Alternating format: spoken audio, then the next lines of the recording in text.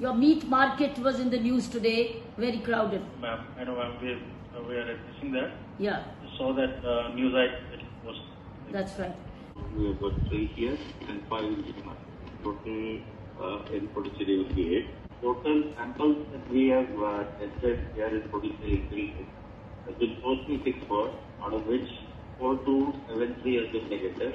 Have our all our policemen got Arogya Setu? 93% of our force is uh, on the Arogya Setu. I'll have to check. One month crisis management plan.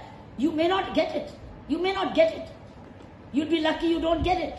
But you are prepared. So what's your preparation? PHCs, your hospitals, your GH, you will certainly bear the brunt. People like come back to Pondicherry. Neighboring Cuddalore and Viluppuram, as you mentioned, are they doing what you're doing? If they do, you are protected.